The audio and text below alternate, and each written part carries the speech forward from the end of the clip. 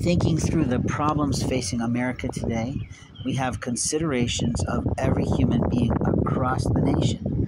The first thing that people should do when they wake in the morning is thank God that they're still allowed and still able to put their feet proudly on the ground. But how do you represent you?